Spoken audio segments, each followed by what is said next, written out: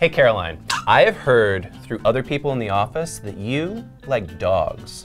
Well, Christian, as a matter of fact, I do. But, I mean, who doesn't like dogs? They'd have to be some kind of an inhuman monster because dogs are totally awesome.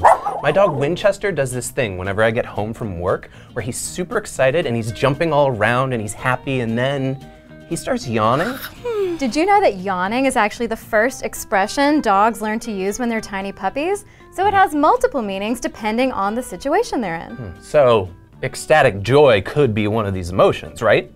Well, dogs usually yawn when they want to send a pacifying or calming signal to other dogs or people, like, hey everybody, let's just take a breather and chill out, okay? Yeah, that makes sense. Yawns have no element of fear or aggression.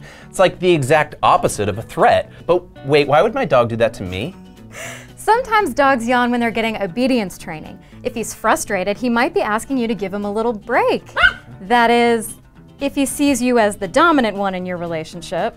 Um, Let's move on to the next thing it could mean, which is that your dog might be cooling off his brain.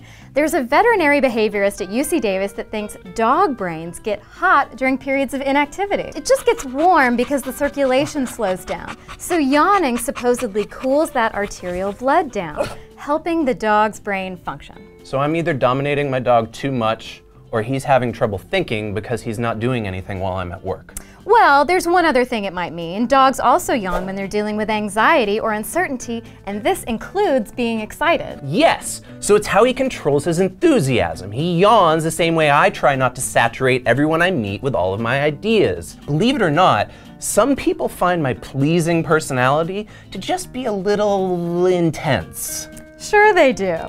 You know, dogs yawn when they're nervous too. Like in a vet's office, mm-hmm. do you yawn when you're nervous? What?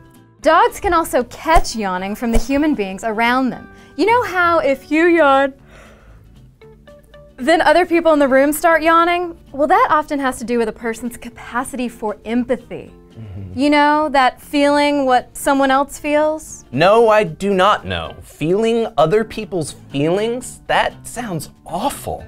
Try reading about it then. The study was published in a journal called Biology Letters in 2008. They said 21 out of 29 dogs yawned at least once in response to the yawn of an assistant in the room with them. Okay, so human to dog yawn contagion. Sounds like the beginning of a zombie movie where everyone just yawns at each other. What about you out there watching this video? Does your dog yawn?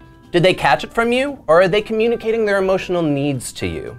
Tell us about your dogs in our YouTube comments. And don't forget to subscribe to the Brain Stuff channel so you'll get even more videos of the How Stuff Works crew answering everyday questions.